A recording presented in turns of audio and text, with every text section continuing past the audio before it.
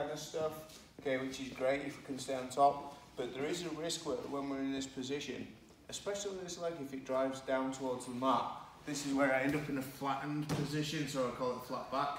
So we need to have a look at some of the things that we need to do from this position as well to try and get out and prevent the armbar. Okay, so Jay's gonna just take his leg over. Okay, so the controlling leg is the one that's over the top. Okay, this is the real problem. Yeah, this leg, you can kind of move it around, you can do stuff, but he still has the ability to break your arm because of this controlling leg.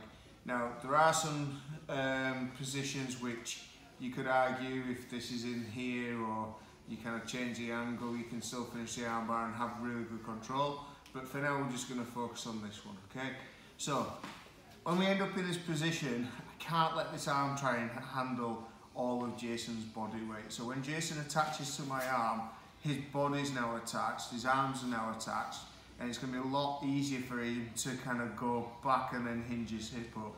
Okay, so I have to try and protect this arm as quickly as possible. My preference is always a gable grip. Okay, so I'm always trying to thumbs together, gable grip. You may not have that option though. There is a little bit of desperation in here. So you may end up in like an S grip, which is still a good grip for me, not the strongest grip I have. Or um, um, if things go really well, as well as it can with someone kind of sat in your face, I'm going to go to a rear naked choke position like we did before. Okay, so Jay's going to take me from an, uh, into an armbar. As I go back, I'm going to go try and go underneath and into here. Okay, so I've got this rear naked choke, choke position. If I can't, and do this nice and steady and slow, don't start exploding or going crazy. Just if you can naturally get this arm position, great.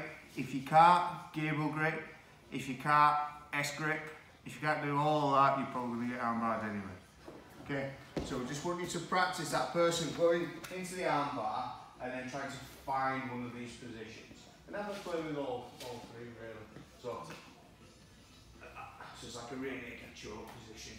So this hand goes underneath. So we, kind of practiced this, didn't we? When, um, I'm on this side. Yeah, we, practiced this with the stack and we look to get that hand in.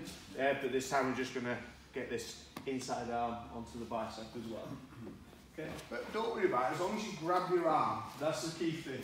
Okay, whatever happens, yeah, the key thing is to get a connection so that that guy's not by himself. Can you just quickly recap the arm? Of course,